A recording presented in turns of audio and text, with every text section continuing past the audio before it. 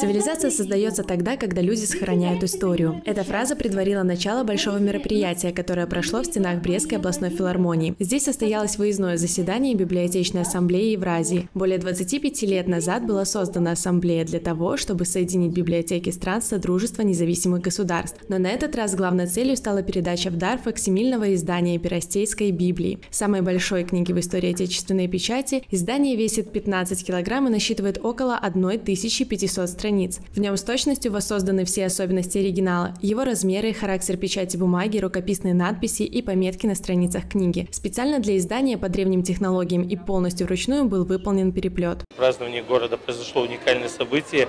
В городе Бресте появился оригинал Берестейской Библии. Мы этому очень рады, как жители этого города.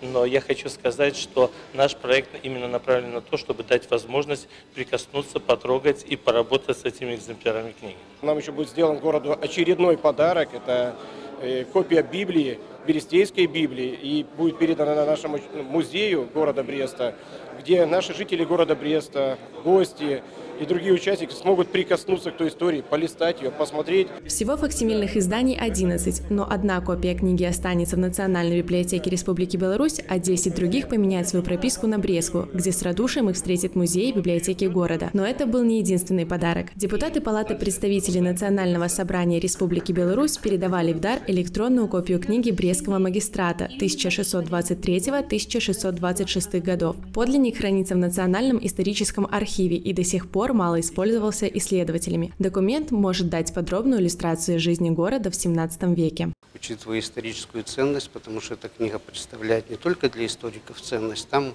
могут и, э, и другие этнографы, и филологи, все воспользоваться этими книгами, этой книгой. И даже там есть интересы для художников в какой-то степени, потому что там вот эти вот буквы, которые написаны, они тоже имеют определенное художественное оформление – и это может быть интересно и для них даже. Очень благодарны мы, прежде всего, конечно, депутатскому корпусу, банковским учреждениям и бизнесу за то, что могут позволить себе подарить городу Бресту такие незабываемые подарки.